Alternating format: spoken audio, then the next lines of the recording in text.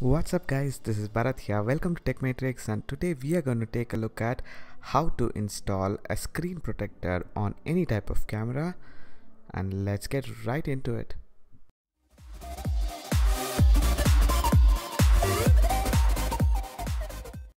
So let's get right into it guys. All you need is your camera, the screen protector and the microfiber cloth and some scissors and cellophane tape so first let's just set it up.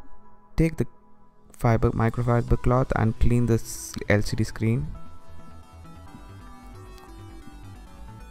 Do a proper cleaning and take the screen protector. Look for the first back or the side which needs to go on top of the LCD screen and line it up.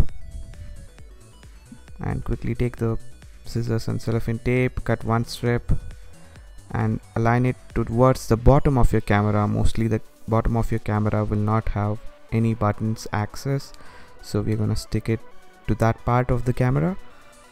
So take two strips basically one at each end so that you have lined it up properly and you have creased it very neatly so that you can just flip over. So just like that you flip over and clean it up again pretty neatly. Clean it in a circular motion so that the clean screen is pretty clean and uh, remove the first screen protector side and just flip it over.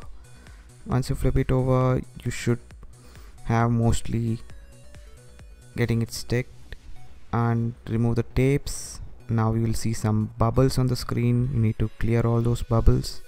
Just keep swiping towards the outside of the screen and after that it will be done. So you can remove the top screen and then it's all done. So that's it guys for this video. If you like this video click on the like button and peace. See you in the next one